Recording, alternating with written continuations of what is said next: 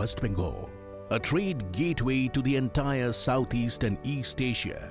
The crucial 560 kilometer stretch of the National Waterway 1 on the Ganga, stretching between Haldia and Farakka. This 481.37 crore rupee multimodal terminal at Haldia is ready to take on more than 3.08 million tons of cargo a year.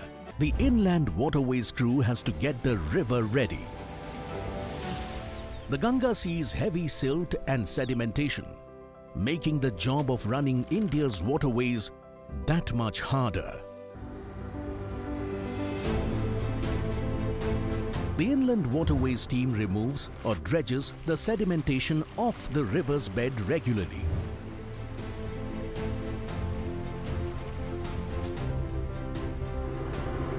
widening and more significantly, deepening the river. And allowing the National Waterways 1 on the Ganga to expand from just 300 to 400 ton cargo vessels all the way to ships bearing up to 2000 tons of precious cargo.